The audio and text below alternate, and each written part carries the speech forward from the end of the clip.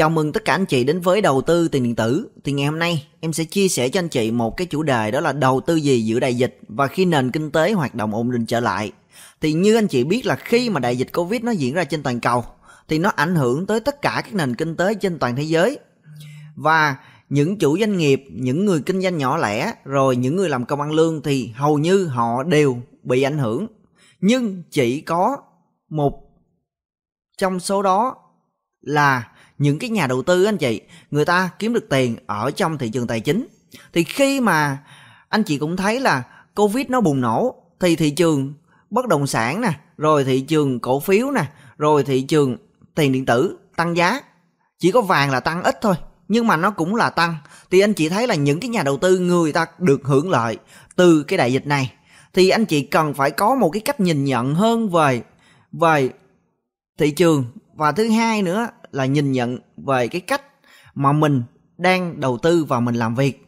Đó. Thì khi mà dịch bệnh nó ảnh hưởng như vậy mọi người không ra ngoài đường kiếm được tiền thì mọi người mới nghĩ là bây giờ mình làm gì ra tiền bây giờ? Đó. Thì khi mà không kiếm được tiền rồi bắt đầu mọi người mới suy nghĩ ra là làm sao để có thêm một cái nguồn thu nhập nữa. Mà mọi người những cái người làm công ăn lương á, thì thực sự người ta không có tiếp cận được được tới tới những cái lĩnh vực đầu tư. Và thứ hai á, là có thể là cái khả năng tài chính của họ không đủ để để đầu tư. Đó. Thì chính vì lý do đó thì em muốn làm cái video này để em chia sẻ cho những cái anh chị đó làm sao để mình có một cái góc nhìn tổng quan hơn về thị trường và làm sao để khi mà nền kinh tế hoạt động ổn định trở lại thì mình có những cái kênh đầu tư như thế nào để mình có thể là kiếm thêm một hai thậm chí là ba nguồn thu nhập để mình khi mà đại dịch nó không được kiểm soát hay là mình sống chung với đại dịch thì sau này cái cuộc sống của mình cũng sẽ tốt hơn. Và tại vì mình không bị ảnh hưởng, không bị chi phối bởi bất kỳ cái nguồn thu nhập nào cả. Đó là cái mục đích mà em làm cái video này. Và em chia sẻ trên cái góc nhìn cá nhân của em. Thì nếu anh chị nào mình cảm thấy hay thì mình có thể nhấn like và subscribe để ủng hộ kênh. Rồi, thì sau đây em sẽ đi vào chi tiết hơn. Thì như anh chị thấy là hiện tại á thì đại dịch nó đang diễn ra rất là kinh khủng và anh chị có thể là thấy cái cái bản thống kê của em vừa để trên đây. Đó là tổng số ca trên thế giới hiện tại đang là 219 triệu ca và tử vong á, là 4,55 triệu. Thì đây là những cái con số mà thống kê thì những cái con số thực tế thì anh chị cũng biết là nó có thể là hơn vậy rất là nhiều. Đó và đứng đầu là Hoa Kỳ 39,8 triệu và tử vong là 646.000 người và tiếp theo là Ấn Độ 32,9 triệu và tử vong là 440.000 người. Và Việt Nam thì anh chị thấy là tính tới thời điểm hiện tại đó là 497.391.000 người. Rồi, số ca phục hồi là 259,148 ngàn và tử vong là 12.187 thì anh chị cũng thấy là hiện tại bây giờ á không phải nói đi xa quá, làm gì, nhưng mà anh chị thấy là hiện tại bây giờ thành phố Hồ Chí Minh và Bình Dương thì nó đang diễn ra rất là kinh khủng. Và thực sự là bản thân em đang ở Bình Dương vậy, em cảm nhận được cái cái sự kinh khủng của của Covid nó như thế nào. Hai tháng trời chưa bước ra ngoài đường và cái khu của em đang bị phong tỏa và nó là vùng đỏ. Và cái lý do mà anh chị anh chị biết á, là cái lý do mà khi mà Việt Nam mình á, quá tự tin về cái làn sóng Covid lần thứ nhất, thứ hai và thứ ba. Lúc đó là Covid nó chưa có biến biến biến biến chủng, biến thể của nó nó chưa có biến biến đổi. Và khi mà cái con virus này nó biến đổi gen thì nó làm cho dịch bùng phát và Việt Nam mình trở tay không kịp. Tại vì cái tôi của, của Việt Nam mình quá lớn khi mà mình đã khống chế thành công của làn sóng Covid lần thứ một, thứ hai và thứ ba đó và ta đây là cứ lên báo ca tụng này kia rất là nhiều nhưng mà khi mà cái lần covid thứ tư này nó diễn ra anh chị, thì lúc đó là trở tay không kịp. Và cái lượng vaccine mà khi mà để để về Việt Nam á, bây giờ á, nó không có quá nhiều. So với Ấn Độ, mình luôn so sánh là ừ là Ấn Độ đi cái lễ của nó, cái lễ lễ hội của nó là người dân tràn ra đường cúng cúng biến này kia. Nhưng mà Việt Nam mình từ cái lễ 30 tháng 4 á, tràn ra đường vào khống chế dịch không được luôn. Nhưng mà bây giờ anh chị có thể là so sánh với những cái nước lân cận giống như là Ấn Độ nè Thái Lan nè Campuchia nè họ đã khống chế khống chế được dịch. Giống như ở ở Thái Lan thì 80% rồi, Campuchia cũng là 50% và bây giờ nền kinh tế của họ bây giờ họ sống chung với dịch chứ không phải bây giờ Việt Nam mình mới bắt đầu là chuẩn bị. Có thể là khoảng em nghĩ là một hai tháng nữa bắt đầu mới hoạt động lại sống chung với dịch được. Còn bây giờ á, mọi người là chắc chắn là năm 2021 này là mọi người bắt buộc là mọi người phải ở trong nhà đó thì mọi người vẫn thấy là bây giờ á hầu hết á, là đã chưa tiêm được mũi chưa tiêm hết được cái mũi thứ nhất. Đó thì anh chị thấy là cái cái sự ảnh hưởng của covid nó như thế nào? Rồi tiếp theo là anh chị thấy là có 85.000 doanh nghiệp rời bỏ thị trường mỗi tháng hơn 10.000 doanh nghiệp rút lui. Thì đây là những cái con, con số thống kê thôi. Thì còn rất là nhiều những cái doanh nghiệp rồi những cái hộ kinh doanh nhỏ lẻ, họ bị phá sản rất là nhiều. Thì anh chị thấy ngoài đường á, thì anh chị thấy là đường không một bóng người. Đó, rồi kinh doanh gì được? Kinh doanh online thì bây giờ anh chị cũng thấy là kinh doanh online á, thì không có giao thương được với nhau, thì không có những cái sàn thương mại điện tử hay là những cái người kinh doanh online, họ đâu có giao hàng được cho những cái người cần đâu. Ở trong vùng dịch anh chị, ở trong hồ chí minh thì bây giờ mới bắt đầu là mở, cho mở cửa trở lại cho những cái shipper á đi giao hàng ở trong thành phố. Còn đối với những tỉnh giống như ở bình dương em này làm gì mà đi giao hàng được? Không có đi giao hàng được anh chị. Thì kinh doanh online nó cũng bị ảnh hưởng luôn chứ đừng có nói là kinh doanh online không bị ảnh hưởng. Đó ảnh hưởng rất là nhiều luôn. Và anh chị cũng biết là những cái con số thống kê đây nó chỉ là đánh giá một phần nào đó còn ở bên ngoài nó còn kinh khủng hơn nhiều vậy. Rồi tiếp theo là anh chị có thể thấy là những cái người á mà người ta đi làm công ăn lương thì ảnh hưởng cực kỳ nặng nề luôn tại vì cái số tiền mà người ta kiếm được nó rất là ít và thứ hai nữa là những cái người đó thật là chiếm tới 70 80% tổng dân số và họ không có học gì về quản lý tài chính. Và những số tiền họ kiếm ra được thì hầu hết á thì em nghĩ là để dành rất là ít thôi, không được nhiều. Em nói thiệt luôn là tại vì em đang sống ở trong cái khu như vậy và em hiểu được là rất là nhiều người bị ảnh hưởng. Không có tiền ăn rồi không có tiền đóng nhà trọ. Đó, rồi không làm gì ra tiền. Đó. phải xin cứu trợ. Rất là cực khổ anh chị. Có những người phải ăn mì gói cả tháng nay rồi. Đó, thậm chí có những người không có gì để ăn. Đó, và anh chị thấy là bây giờ á, và chính phủ mình nó hỗ trợ cũng không hỗ trợ hết được. Đó cái gói hỗ trợ thì rất là nhiều những gói hỗ trợ mà em thấy tiếp cận người dân á. Bây giờ ở khu em nè, nó chỉ có được, nhận được cái gói hỗ trợ là 800 ngàn một người. Đó, thì nó không có đáng gì. Lấy ra thì cũng đóng tiền nhà trọ. Thì anh chị cũng biết là khi mà những cái người kinh doanh nhà trọ, người ta cũng cũng sao? Người ta cũng vay ngân hàng để người ta đầu tư, thì không thể nào người ta có thể là cho anh chị giảm hết tiền nhà trọ của anh chị được cho dù có thì cũng chỉ giảm một ít hoặc có những cái người người ta quá nhiều tiền đi thì không nói làm gì. Còn những người kinh doanh, người ta đang vay nợ ngân hàng á, thì người ta vẫn phải vẫn phải thu tiền.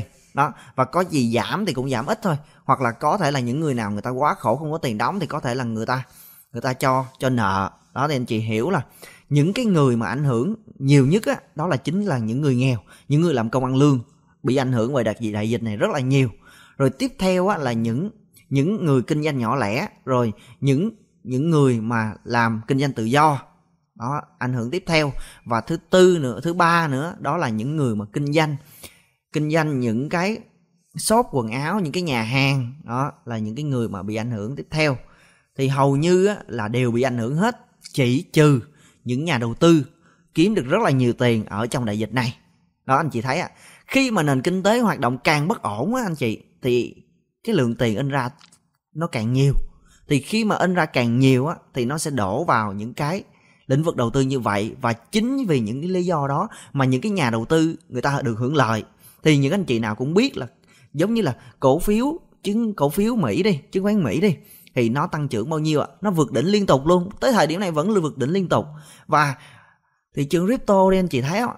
Thị trường cryptocurrency, anh chị thấy nè, nó tăng trưởng liên tục. Đó, từ từ bao nhiêu? Từ mười mấy ngàn đô thôi. Từ ba ngàn bảy trăm đô từ tháng 3 năm 2020 tới thời điểm lên 65 ngàn đô và bây giờ hiện tại đang là 50 ngàn đô. Anh chị thấy không? Nó được hưởng lợi từ những cái ngành đầu tư. Thì chính vì như vậy á, em chỉ muốn nói với anh chị một điều.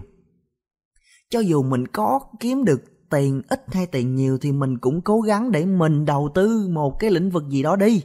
Để làm sao? Để khi mà có những cái việc gì xảy ra thì mình cũng sẽ có thêm một cái nguồn thu nhập từ công việc mình đầu tư.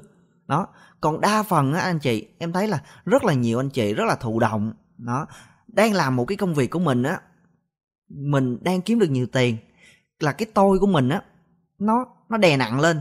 Và lúc đó là vỗ ngực xưng tên nè, tao là giỏi nhất nè, trong lĩnh vực của tao tao là chuyên gia nè. Nhưng mà đâu biết bây giờ nè, dịch bệnh nè, vỗ ngực xưng tên đi. Đó, không phải nói đâu xa những người anh em của em, những anh ruột của em luôn, khi mà em chia sẻ bây giờ á, anh nói thẳng với em luôn, tại vì trung bình một tháng anh cũng kiếm được năm, sáu, bảy chục, thậm chí là trăm hoặc là hơn, trăm triệu. Nhưng mà khi mà mình chia sẻ về thì cái tôi của họ rất là lớn. Thì anh nói với em một câu như vậy nè.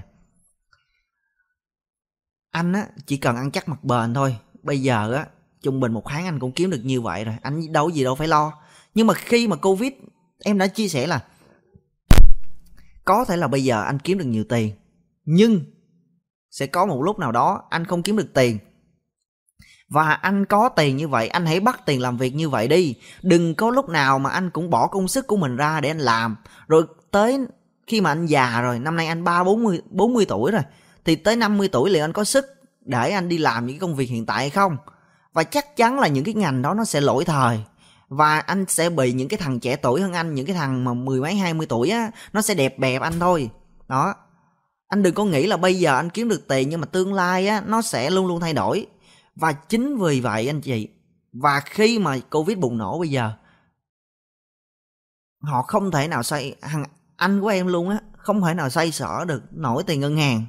Tại vì khi mà có tiền rồi bắt đầu đầu tư thì anh chị, đi đầu tư thì anh chị cũng thấy là hầu hết á đi đầu tư đều mượn mượn tiền cả. Đầu tư bất động sản mà. Họ không biết đầu tư những cái ngành lĩnh vực khác đâu. Họ chỉ chủ yếu á, những cái người mà kinh doanh thuần á, thường á, họ chỉ được biết đầu tư bất động sản thôi. Mà họ đầu tư bất động sản miệng thì nói là đầu tư thôi, nhưng mà họ không có hiểu cái định nghĩa đầu tư là cái gì. Đó.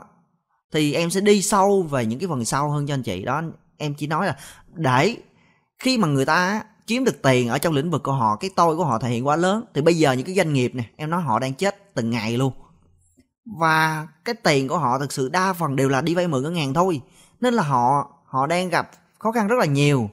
Đó, chỉ những cái người quá giàu thôi. Còn những cái chủ doanh nghiệp mà kinh doanh nhỏ lẻ này kia bây giờ á, điêu đứng hết rồi. Đó, cứ nghĩ là ta đây này kia, nhưng mà bây giờ á, khóc lóc rất là nhiều. Và không biết làm sao để để đóng lại ngân hàng, tại vì bây giờ kinh doanh đâu được. 6 tháng thì bị ảnh hưởng từ đầu năm tới giờ. Đó, ở Hà Nội đi, anh chị, những cái những cái những cái doanh nghiệp ở ngoài Bắc đi, rồi những cái cửa hàng kinh doanh ngoài Bắc đi, anh chị thấy là từ đầu năm tới giờ họ bị bị ảnh hưởng rất là nhiều. Ở trong miền Nam thì mới chỉ là nửa năm thôi, từ tháng năm tới giờ. Nhưng mà ở ngoài Bắc thì từ đầu năm luôn. Thì anh chị có thể thấy là càng ngày á họ họ bị ảnh hưởng bởi covid càng ngày càng thấm. Tại vì lúc đầu á, mọi người nghĩ là không có gì và covid này á, sẽ không chế nhanh thôi. Nhưng mà khi mà tới thời điểm bây giờ á, là chính phủ mình á, hết tự tin rồi và chính phủ mình nói là bây giờ sẽ phải sống chung với dịch. Và cái điều này chắc chắn với anh chị là về dịch bệnh á, khả năng là tới cuối 2022 bắt đầu mọi thứ có thể là trở lại ổn định.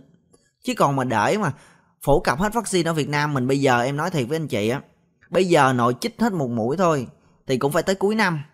Tại vì bây giờ sàng lọc rất là nhiều. Và anh chị nào thấy á tại vì sao cái số covid số lượng covid càng ngày càng tăng? Là khi mà đi lấy mẫu xét nghiệm anh chị không đảm bảo đủ đủ an toàn. Và nó bị lây nhiễm chéo. Cứ mỗi lần đi test á, ở khu em nè cứ mỗi lần test đi test ra lại lòi ra f không. Mà trong khi đó cái khu đó bị phong tỏa người ta nói là ừ em ở nhà trọ em ở trong phòng thôi mà tại sao bị dính? Nó, cứ mỗi lần đi test như vậy không đảm bảo, không đảm bảo đủ đủ an toàn là bị dính f không. Nó cứ cứ mỗi lần test là ra f không, cứ mỗi lần test ra f không. Thì vậy làm sao mà khống chế được đại dịch? Trong khi đó những cái nước như ấn độ, như thái lan, tại vì sao bây giờ họ họ đã đã có thể là hoạt động trở lại rồi. Mà trong khi đó việt nam mình á, cứ trì trệ như vậy mà càng ngày cái số ca covid càng tăng. Đó. Anh chị phải hiểu là như vậy là do do ảnh hưởng bởi covid và một phần nữa là do chính phủ mình có những cái biện pháp nó chưa chưa gọi là triệt để. Và thứ hai nữa là có thể là chưa đúng cách, nên là anh chị thấy là bây giờ, tới thời điểm bây giờ, anh chị vẫn chưa được ra đường. Và anh chị vẫn đang rất là là lo lắng là dịch bệnh này nó sẽ kéo dài tới khi nào. Thì thực sự là em trong cái đội ngũ em em nói về covid rất là nhiều và những cái buổi zoom á anh chị, những anh chị nào mà đã tham gia những cái buổi zoom của team á thì anh chị sẽ thấy là khi mà em nói về vậy em em vẫn nói với anh chị vào cách đây là cũng phải khoảng là hai tháng trước rồi em nói là, anh chị ơi, bây giờ có tiền á thì có thể là rút bớt về và thứ hai nữa anh chị, đừng có đầu tư thêm nữa, khi mà thị trường có giảm anh chị cũng không không cần phải đầu tư thêm nữa. Tại vì sao? Tại vì anh chị phải trừ tiền để để ăn trong cái mùa covid này đi. Lúc đó covid nó chưa bùng phát mạnh anh chị em đã nói rồi. Đó. Thì những anh, anh chị nào tin á, thì anh có thể là anh chị đó đó giữ ít tiền để để mình sống qua đại dịch. Còn những anh chị nào không tin thì mình vẫn bỏ tiền vào đầu tư. Thì khi mà anh chị bỏ vào đầu tư thời điểm đó thì thực sự cũng có lời nhưng mà mình làm cái gì làm. Mình vẫn phải chừa trừ lại tiền để mình sống. Đó. Còn đối với bản thân em nguyên cái team của em và em cũng nói với anh chị trong trong những cái buổi zoom á thực sự là đối với team tụi em, thực sự là em đã đã chừa tiền sống trong đại dịch này một năm, thậm chí là hơn. Đó. Cho dù dịch bệnh này có kéo dài một năm nữa thì tụi em cũng không bị ảnh hưởng. Đó là khi mà đại dịch như vậy á, tụi em tụi em đã đã có sự chuẩn bị trước rồi. Chứ không phải tới thời điểm bây giờ em làm clip này em mới nói với anh chị không có. Anh chị nào mà tham gia những buổi zoom của team thì anh chị sẽ thấy là những cái điều em nói bây giờ nó đã đã thành hiện thực rồi tiếp theo, một cái vấn đề nữa mà em muốn nói với anh chị á, là trong những cái thời gian sắp tới á, về những cái thị trường đầu tư nó sẽ cực kỳ sôi động. Bởi những cái yếu tố sau thì thứ nhất á, anh chị có thể thấy á, là ở đây, là cái bảng thống kê về lãi suất tiền gửi dành cho khách hàng ở ngân hàng Vietcombank. Thì mình có thể là đối chiếu, ở đây anh chị có thể thấy là đối với những cái lãi suất của tiền tiền gửi anh chị, bây giờ nó rất là thấp. Một năm bây giờ anh chị thấy là, ở đây anh chị nhìn nè, anh chị gửi tiết kiệm nè 12 tháng 5,5% và anh chị gửi 60 tháng là 5,3% đó anh chị thấy không? Thì gửi có kỳ hạn với không kỳ hạn nó cũng tương tự nhau anh chị thấy à? Đó. Thì cái phần lãi suất như vậy nó giảm á, thì khiến những cái nhà đầu tư những cái người có nhiều tiền người ta không muốn gửi tiền vào ngân hàng nữa tại vì cái khoản lợi nhuận nó quá ít so với người ta đem ra ngoài đầu tư. Thì đợt vừa qua anh chị cũng thấy là cái động thái của những nhà đầu tư anh chị là người ta đem đi đầu tư bất động sản đầu tư vàng. Đó. ở việt nam mình thì anh chị thấy là hầu hết á họ đầu tư bất động sản là chủ yếu. Tại vì họ nghĩ là đầu tư bất động sản an toàn nhưng mà những cái vấn đề trong bất động sản á nó có, cũng có rất là nhiều cạm bẫy. Thì em sẽ nói phần chi tiết ở phần sau. Thì đây em đang nói về cái phần lãi suất tiền gửi. Là khi mà như vậy á, thì những cái người có nhiều tiền thì chắc chắn là họ sẽ nghĩ nghĩ là phải đem tiền đi đầu tư ở một cái kênh nào khác để đem đem lại cái nguồn thu nhập nó tốt hơn đem lại cái lãi suất tốt hơn. Ví dụ như lúc trước anh chị có một tỷ thì anh chị gửi một năm thì khoảng là 7,5 tới 8 phần trăm chẳng hạn. Nhưng mà bây giờ thì nó còn là 5,3 phần trăm một năm thôi. Thì nó rất là ít. Như vậy nó không đủ bù cái tốc độ lạm phát của Việt Nam tại vì Việt Nam mình là một cái nước đang phát triển thì chính vì những cái lý do như vậy á thì cái lãi suất ở Việt Nam mình nó mới cao như vậy thôi. Chứ còn ở bên Mỹ là một cái nước mà đã phát triển rồi anh chị. Thì anh chị có thể là thấy là mình gửi tiền ngân hàng lãi suất rất là thấp. Nó chỉ là không phải mấy phần trăm một năm thôi. Thậm chí á, là có những lúc là lãi suất âm. Là anh chị phải nhờ ngân hàng nó giữ tiền cho anh chị và anh chị phải trả tiền cho nó. Đó. Thì anh chị hiểu rõ về những cái chiều hướng của nền kinh tế sắp tới là nó sẽ như thế nào. Tại vì anh chị hiểu là bây giờ là nó đang đang muốn nhà đầu tư đi ra đem ra ngoài đầu tư đem tiền ra bên ngoài. Đó. Nên là cái lãi suất hy động nó rất là thấp. Đó. Và nó cũng tạo điều kiện cho những cái người kinh doanh buôn bán sau đại dịch được tiếp cận với cái nguồn vốn thấp như vậy. Đó, nếu mà anh chỉ có tài sản cầm cố chứ còn mà để vay miệng thì rất là khó. Thì mình cứ cầm cố tài sản đi lãi suất cũng thấp thôi. Tại vì lãi suất cái tiền tiền nó huy động á thấp thì nó sẽ cho anh chị vay thấp. Nó huy động cao thì chắc chắn là cái giá nó sẽ đẩy cao lên. Đó, và bây giờ cũng có động thái là những cái gói hỗ trợ nền kinh tế của Việt Nam cũng đã, đang được đưa ra để hỗ trợ doanh nghiệp và người dân. Đó, anh chị có thể thấy. Rồi tiếp theo là có những cái kênh đầu tư nào mà anh chị cần phải quan tâm ở thời điểm hiện tại và trong thời gian sắp tới khi mà đại dịch nó có thể là kiểm soát và nền kinh tế hoạt động lại bình thường. Thì cái kênh đầu tiên em muốn nói với anh chị đó là kênh đầu tư chứng khoán trái trái phiếu, chứng chỉ chứng chỉ quỹ. Đó. Thì ở đây anh chị thấy là chứng khoán Việt Nam hay là chứng khoán ở ở Mỹ thì đều tăng trưởng. Thì nhưng mà cái vấn đề anh chị, là cái phần trăm tăng trưởng của nó cũng khá là hấp dẫn và nó khiến cho những cái nhà đầu tư F0 ở thời điểm hiện tại bây giờ đang gặp rất là nhiều vấn đề. Tại vì khi mà đại dịch diễn diễn ra như vậy á, những cái thị trường này nó tăng thì mọi người đổ tiền vào đây khi mà mọi người chưa có kiến thức và chưa biết gì về thị trường cả. Đó, thì dẫn tới là đu đỉnh rất là nhiều và có những người cháy tài khoản rồi có những người thì kiếm được tiền nhưng cái vấn đề á, khi mà mọi người là một người mới bước vào một cái thị trường á thì nó sẽ xảy ra vấn đề là khi mà anh chị vào đây anh chị kiếm được tiền. Tại vì thị trường tăng thì anh chị đánh cái gì nó cũng thắng hết á. Nhưng mà khi thị trường giảm á, ai còn tiền và chốt ra ra được Việt Nam đồng thì mới gọi là chiến thắng. Thì cái lãi suất ở chứng khoán, cái lợi nhuận ở chứng khoán á, nó cũng khá là ổn. Đó, thì anh chị có thể là nghiên cứu. Và về trái phiếu anh chị, thì trái phiếu về lãi suất, trái phiếu và chứng chỉ quỹ á, thì thường á, nó sẽ đem lại cho anh chị một cái nguồn lợi nhuận. Nó rủi ro ít hơn so với chứng khoán. Nhưng mà cái lãi suất của nó thì không được cao. Nó dao động ở Việt Nam mình dao động trái phiếu thì từ ờ, 10% hoặc hơn 10% xíu hoặc là dưới 10% đó. Còn chứng chỉ quỹ á, là anh chị giao tiền cho cho một cái quỹ đầu tư nào đó ở Việt Nam. Và anh chị cái đó gọi là anh chị mướn người ta để người ta làm việc cho anh chị á và người ta sẽ thu một cái khoản phí gọi là phí quản quản lý tài khoản của anh chị quản lý danh mục đầu tư á, thì nó cũng không đáng kể nhưng mà cái tỷ suất lợi nhuận của những quỹ đầu tư này á, nó không có có quá cao so với anh chị tự đầu tư chứng khoán thì anh chị có thể là nghiên cứu. Thì cái mức lợi nhuận thì nó cũng dao động từ 10 tới 30 phần trăm, tùy những cái quỹ. Nó tùy cái danh mục đầu tư của anh chị. Đó. Thì anh chị có thể là nghiên cứu về cái trái phiếu và chứng chỉ quỹ này. Thì cái độ an toàn nó khá cao. Tại giống như trái phiếu á, anh chị có thể là mua trái phiếu chính phủ hay là trái phiếu của những cái tập đoàn. Đó.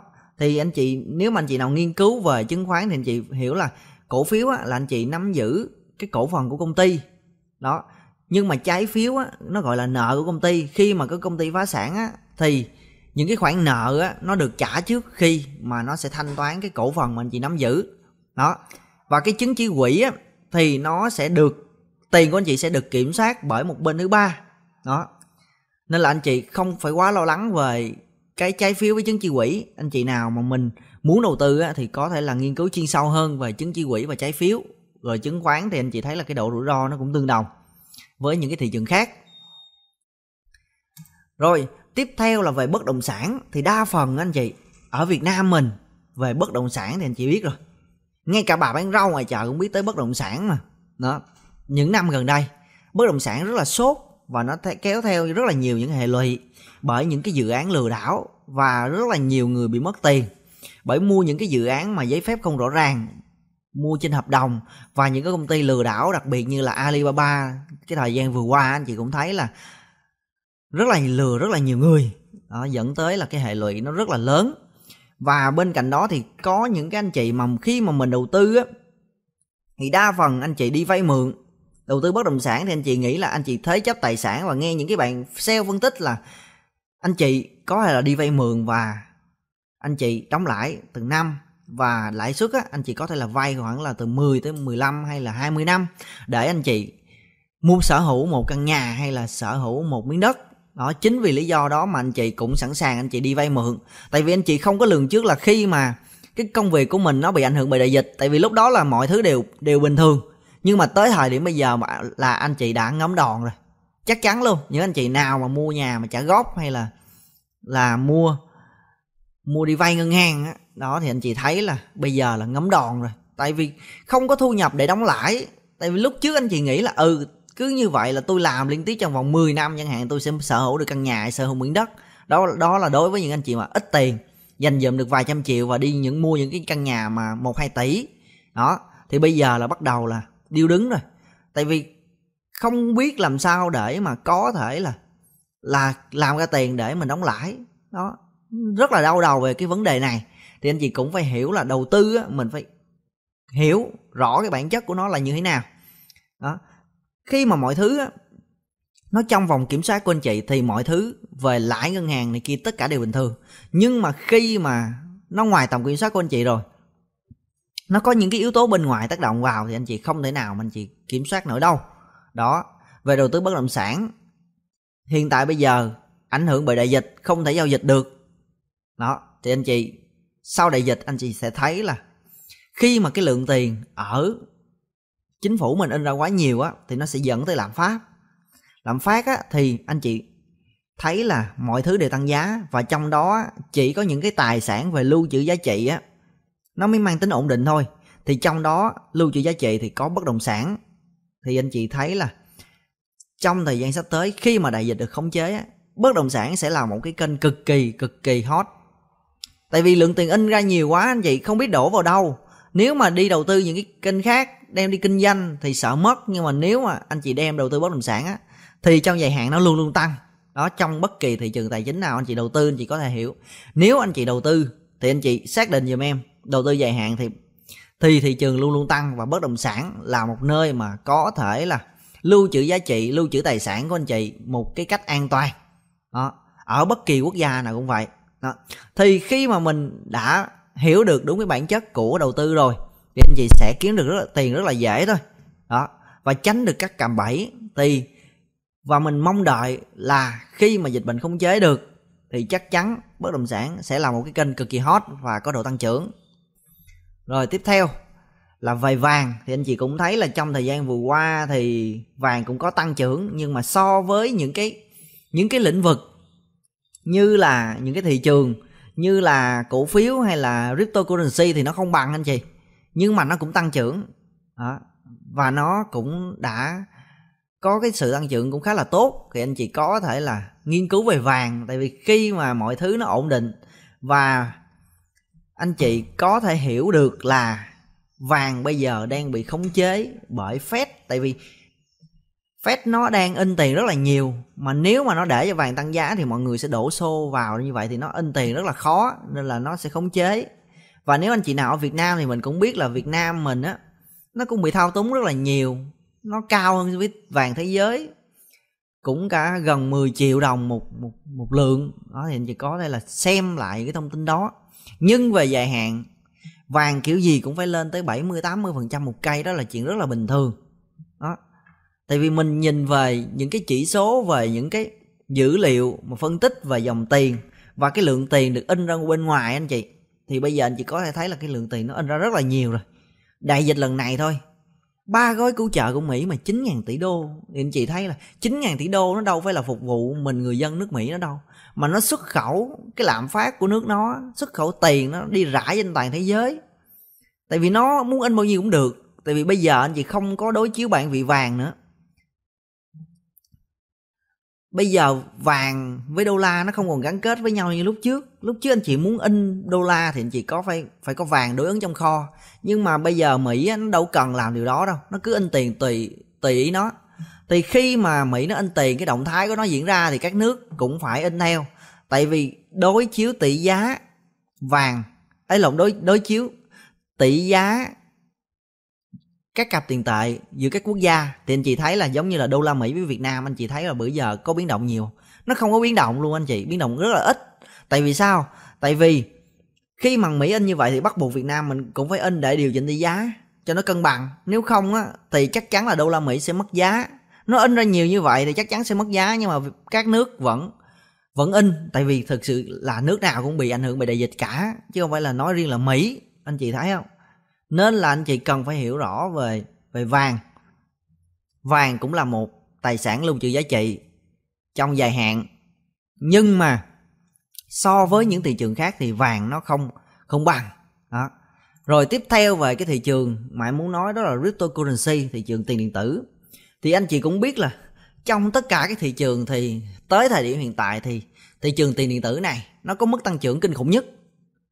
Đó thực sự luôn tăng trưởng. Anh chị thấy là từ 3.700 vào tháng 3 năm 2020 từ 3.700 lên đỉnh điểm là tháng 5 là lên tới 65.000 đô. Đó. Cuối tháng 4 đầu tháng 5 là lên tới 65.000 đô. Và hiện tại đang giao dịch ở mức giá là 50.000 đô. Thì anh chị cũng thấy là cái kênh này là cái kênh đầu tư mới và nó rất ít người biết được và đặc biệt ở Việt Nam mình thì để tiếp cận được cryptocurrency á, bây giờ cũng rất là ít. Nên là đây là một cái thị trường nó cực kỳ màu mỡ và cái lịch sử phát triển của nó bây giờ mới là hơn 10 năm. So với những cái lĩnh vực đầu tư khác thì lĩnh vực này nó rất là mới và nó đem lại nhiều cơ hội. Nhưng mà bên cạnh đó thì nó cũng tìm tìm ẩn nhiều rủi ro. Nếu mà anh chị là người không có kiến thức và mình không có kinh nghiệm mình không biết đâu là cạm bẫy và không biết đâu là là kiếm được tiền, thì nên là anh chị đầu tư vào những cái lĩnh vực mạo hiểm như vậy thì anh chị cần phải nghiên cứu kỹ. Thì có thể là bây giờ mọi người đang đang rất tò mò về thị trường cryptocurrency này. Thì mọi người có thể là lên youtube hay là lên trên những cái trang báo để anh chị nghiên cứu về thị trường cryptocurrency này. Thì cái mức khoản lợi nhuận anh chị cũng thấy là thời gian vừa qua là rất là nhiều triệu phú đô la trẻ ở Việt Nam.